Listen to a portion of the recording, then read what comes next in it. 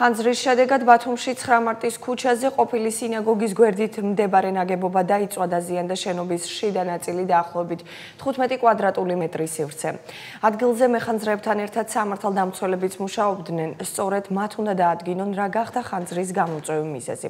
მეზობლების თქმით, შენობას, რომელშიც ბოლო ერთი თვე არავინ ცხოვრობს, უსახლკარო ადამიანები თავშესაფრად იყენებდნენ. გაჩნდა ხანძარი, მე გამოიძახეს 112-ზე დარეკეს და კი მოხდა ლიკვიდაცია. სინაგოგას ნანგრევებია და უკან ცხოვრობდა შოთა იყო, დაიღუპა წინათვის რომელიღაც არის შეხა ზუსტად არ მახსოვს და მე იყვნენ ჩამოსულები დაკეტეს და გატეხეს და შევიტენ ისევლე ჩვეულებრივად. არავინ არ ცხოვრობდა, ეს იყო ებრაელების სამლოცველო.